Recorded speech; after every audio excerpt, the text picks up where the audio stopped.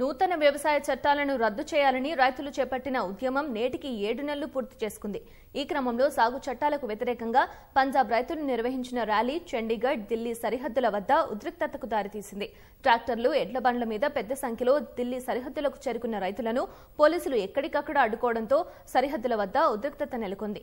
అన్నదాతలను నిలువరించేందుకు పోలీసులు జలఫిరంగులు ప్రయోగించారు. రోడ్డుకు అడ్డంగా బ్యారికేడ్లు ముళ్ళకంచెలు ఏర్పాటు చేసినప్పటికీ రైతులు ట్రాక్టర్లతో వెళ్ళేందుకు ప్రయత్నించారు. ఎలాంటి హింసాత్మక ఘటనలు జరగకుండా ముందస్తు చర్యగా పోలీసులు కొంతమంది రైతు నాయకులను అదుపులోకి తీసుకున్నారు. ఆందోళనలు ఏడు నెలలు పూర్తయిన సందర్భంగా సాగు చట్టాలను నిరసిస్తూ అన్ని రాష్ట్రాల గవర్నర్లకు అన్నదాతలు వినతి పత్రం సమర్పించారని రైతు సంఘాలు పిలుపునిచ్చాయి. ఈ మేరకు ఆందోళనలు చేపట్టిన రైతులను పోలీసులు ఎక్కడికక్కడ నిలువరిస్తున్నారు.